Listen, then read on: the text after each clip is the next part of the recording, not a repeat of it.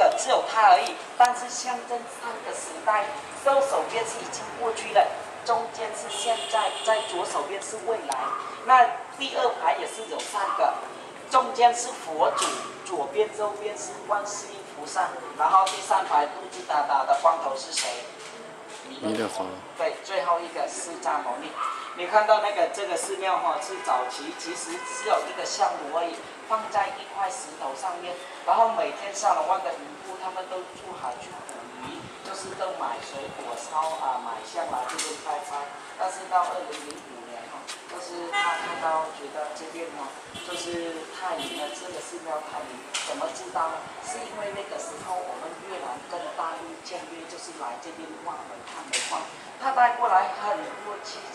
来到这边还没开始动的话就坏掉就有问题，结果才请一个法师啊来，到底是是什么原因？他说这个这个地方有一个寺庙非常非常灵，那你们来到这个寺庙啊买一些那个东西啊这边拍拍业绩，结果请一个法师来这边哈弄好的时候，他做什么事情都很顺利，所以他看到这个寺庙太灵了，太漂亮，所以两个国家。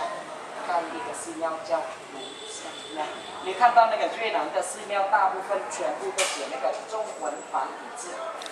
这些字你们台湾人看得懂，中国人看得懂，我们越南人看不懂。但是越南人他了解这个寺庙有多久的历史，主要这个寺庙拜拜谁？为什么他都写中文字？是因为第二世纪佛教是从